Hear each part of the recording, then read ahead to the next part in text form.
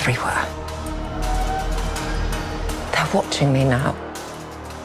It seems we're going to be seeing Mon Mothma in the Galactic Senate, see her more in action than we've seen her before. I was hoping that you could maybe tell us a little bit about what the Galactic Senate is like in this time period. The last time we saw it, it was uh, dying by thunderous applause, and now it is kind of shambling along with the Emperor kind of pulling the strings. What's that like? There is always a road to autocracy, right? There is always a road to uh, um, demonic dictators. It takes a road to get there. So you find us on that road. And that's what is um, the journey for me of this story. We know that she um, ends up in Rogue One as um, one of the leaders of the rebellion.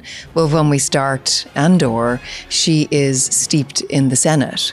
She is trying to affect change within the empire. She believes she has a hope that and and and an idealism and a belief that she can affect change from within. She believes in the power of diplomacy.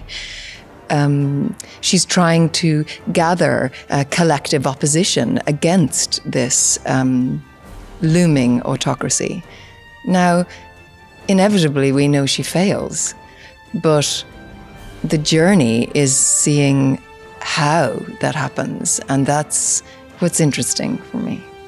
Through the storytelling, through the narrative arcs, Tony has been unafraid to explore the tentacles of empire, the tentacles of colonialism, and how that affects people, how that affects the very center of humanity.